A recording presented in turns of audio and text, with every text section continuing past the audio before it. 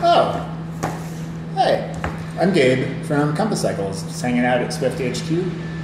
Here to teach you guys a little bit about the history of the handlebar bag. During the 1920s and 30s, cyclotourists in France were looking to go farther afield on their bikes.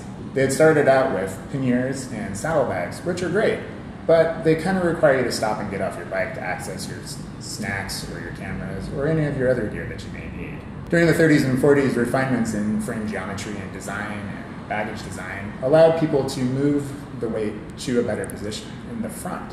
And the best place was in the handlebar bag, which is easily accessible while you're riding or during a quick stop.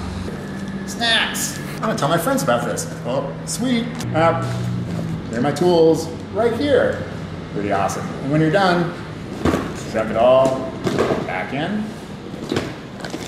Keep on pedaling.